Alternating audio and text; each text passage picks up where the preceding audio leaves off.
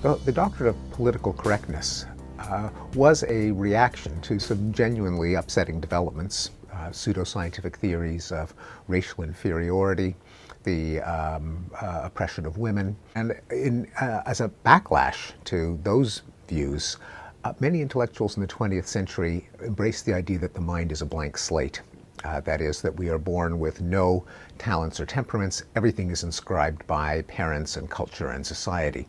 And that was an appealing idea because it meant if there's nothing in the mind at birth, that means that differences between uh, the races are impossible.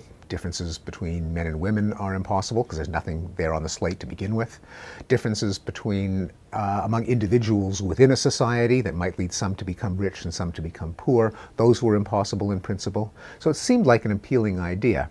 Now, it's an idea that is uh, certainly false uh, in its extreme case. Blank slates don't do anything. You could not possibly have uh, an intelligent species like a human being that was just born as a, as a lump of putty, to, to change the metaphor.